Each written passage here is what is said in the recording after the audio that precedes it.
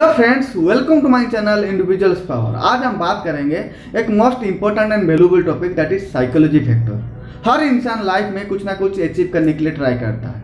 और ये psychology factor कैसे हमें डिरेक्शन दिखाता है हमारा गोल को अचीव करने के लिए। आइए जानते एक छोटा सा स्टोरी से। अमेरिकन का एक साइकोलॉजी टीचर थे, बहुत फ़ेमस थे। उन्होंने समर वैकेशन में ट्रेनिंग देने के लिए एडवर्टाइज किए थे। तो डिफरेंट कंट्री से डिफरेंट स्टैंडर्ड का स्टूडेंट ट्रेनिंग लेने के लिए गए psychology factor psychology factor means जो बोलते हैं ना, जैसे आप लोग सुने होंगे, जे जैसे सोचता है, वैसे उसको मिलता है।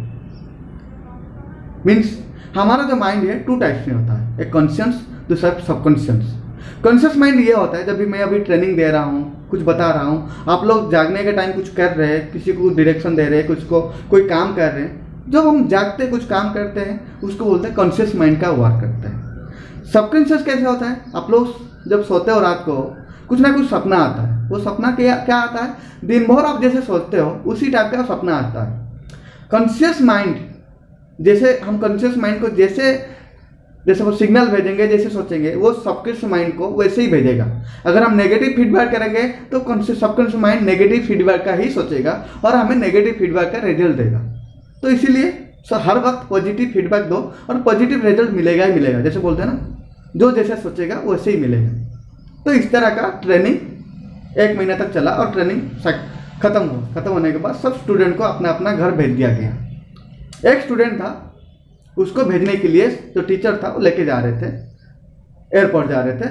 रास्ते में वो ट्रैफ़िक में फंस गए। तो वो उस दिन जा नहीं पाए तो प्लान को कैंसिल किया गया। वो लोग घर रिटर्न आ गए फिर सेकेंड डे प्लान बनाया गया टिकट हो गया। तो थोड़ा जल्दी टीचर और स्टूडेंट निकले एयरपोर्ट जाने के लिए। जब जा रहे थे, रास्ता में गाड़ी खराब हो गया फिर गाड़ी रिपेयरिंग करते करते वो टाइम आउटडेटेड हो गया, वो फिर रिटर्न आ गया। जब स्टूडेंट घर नहीं जा पा रहा था, उनका पेरेंट्स गुस्सा करके फ़ोन किए कि हम लोग टू मंथ के लिए वैकेशन में जा रहे हैं और ये दो महीना के लिए, अगर आप कल उसको भेज ही नहीं रहे हो तो दो महीने के लिए आप उनको रखोगे और आपका जो भी खर्चा होगा आप पे करोगे। हम सिंगल रुपीज़ भी पे नहीं करेंगे। ये सुन के साइकोलॉजी टीचर जो थे, परेशान हो गए। तो नेक्स्ट डे के लिए प्लान बनाया गया और सुबह सुबह दोनों टीचर और स्टूडेंट निकल पड़े एयरपोर्ट टाइमली पहुँच गए।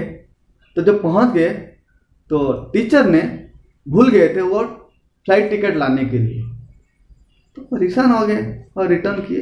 परेशान होते होते वो स्टूडेंट को पूछे कि तुम क्यों नहीं जा पा रहे तो ये सुन के स्टूडेंट ने सर को बोला सर मैंने आपने जो एक महीना का जो ट्रेनिंग दे रहे थे, उसको मैं एप्लीकेबल कर रहा था कि साइकोलॉजी फैक्टर रियल में काम करता है कि नहीं करते अब जो पहला टाइम में मुझे लेके आ रहे थे, मैंने रात को सोने के टाइम ये सोचा था कि मैं कल घर नहीं जाऊँगा।